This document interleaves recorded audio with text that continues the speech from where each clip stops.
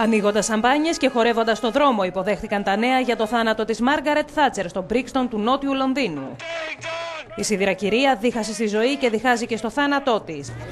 Κρατώντας μπουκάλια μεγάλα, πολλοί θέλησαν να θυμίσουν την απόφασή της να διακόψει τη δωρεάν διάθεση γάλακτος για τα παιδιά του δημοτικού. Αυτή η γυναίκα έκανε τα νιάτα μου μίζερα. Νομίζω ότι είναι υπεύθυνη για τα περισσότερα προβλήματα της κοινωνίας. Είναι υπεύθυνη για τα όσα πέρασαν οι φτωχοί και οι ηλικιωμένοι. Στο Λονδίνο έχουν ήδη κυκλοφορήσει φυλάδια που ανακοινώνουν ότι θα διοργανωθεί πάρτι στην πλατεία Τραφάλγκαρ το πρώτο Σάββατο μετά την κηδεία της Μάργαρετ Θάτσερ.